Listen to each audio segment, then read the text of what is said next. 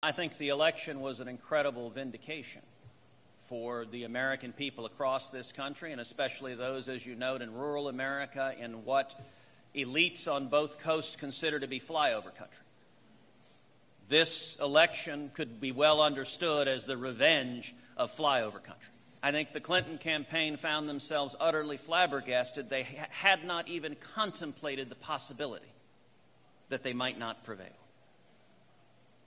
And that, I think, is a direct result of not listening to and not hearing the American people, the voices of frustration, the voices that have been ignored, the voices that were crying out. More than anything else, leave us alone. Those voices haven't been heard in Washington by Democrats and far too often by Republicans either.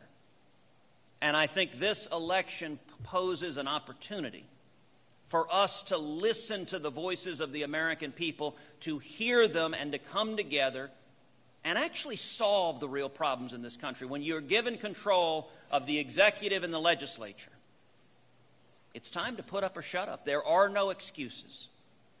We've got to deliver. And I think that is what the voters across the country expect, and it's what I very much hope we will give them.